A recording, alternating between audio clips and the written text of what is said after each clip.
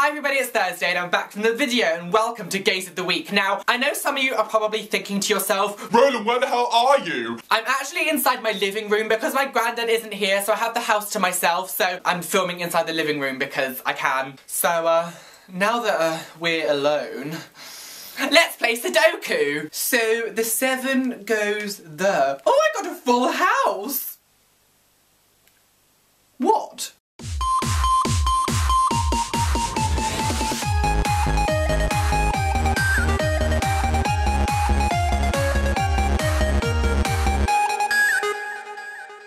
But yeah, hello everybody, I hope all around had a fabulous week. Um, I, am so pissed off because the weather has gone so shit. Yesterday it was gorgeous, it was sunny, and now it's like really crap and it's so dark. Like, you, like my room, you can't, I've tried filming in my room and it just looks horrid. So I'm coming out here just hoping it might look a little better. But yeah, welcome to my living room. This is my living area.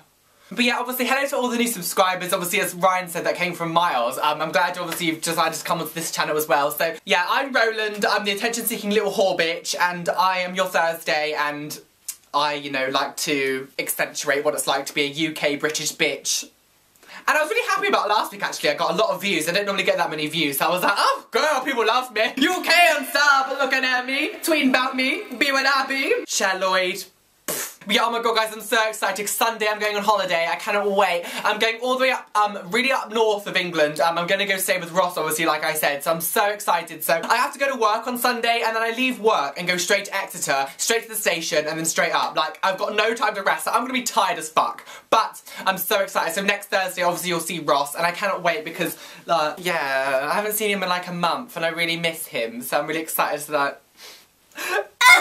okay, so my question for you guys this week is, do you believe in ghosts? Have you had any scary things happen to you? I may have asked this before, but I can't really remember. But, um, if you, like, do you believe in ghosts? Had any ghost things happen to you? Comment down below and tell me, like, had any ghost stories? Any, any, like, scary things that's happened near you? I do. I've had a lot of weird things happen to me, especially in this house and other places. Um, being the attention-seeking whore that I am, I'm doing a video on that on my channel, obviously later on, so if you want to watch that, just come over to me. Attention whore! I need to calm down, like, honestly. Like, when I said last week that when I turn on the camera to go mad, I'm not even joking. Like, I actually just go insane. Where's the men in white coats with straight jackets? Like, mm, I need to be in a padded cell, a padded room. I'd probably enjoy that. I'd just, like, jump around and do cartwheels and shit. Like, ah!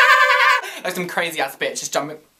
I'm gonna shut up. I'm actually just gonna shut up. Miles, you asked, what would you do if you became an internet sensation overnight? I think I would just go mad. Like, I would actually just go mad. Like, I would, I would actually go mad. Like, I know you see this, but like, I would go, I would actually just go insane. Like, I would actually would go insane. I'd be like, oh my god, like, what's going on? Like, oh my god, oh my god, oh my god. Like, now Ryan, oh, what your question was, have you ever lost anyone? How long have you fucking got? Like, I haven't been the most lucky person when it comes to like, people. Um, I lost both my grandparents from my other, like my mother's side um, when I was really young, so I didn't really know them. Obviously, one of, one of the most hardest ones is I was eight years old, my dad passed away. He had a chest condition and it pretty much just killed him. Um, yeah, so my dad died when I was eight and then I moved in with my grandparents, like from my dad's side. But yeah, and then in 2007 my um, grandma died, so it's just me and my granddad now. That's pretty much all I got left. Obviously, I've got my brothers and sisters and stuff. The thing is, like, it's really sad and it's like, awful that obviously, like, I'm not saying it's a good thing my dad died, but like, I love my life and I love it and I know that things like that happened for a reason and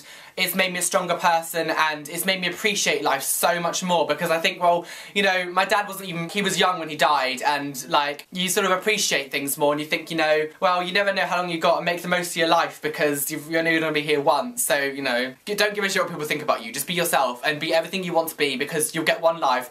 Go out and fucking live your life. Don't live by anyone else's standards. Don't live the way anyone else would want you to. Brian and Daniel. Have I visited your blog yet? Well, what do you think you're doing? Who do you think you are?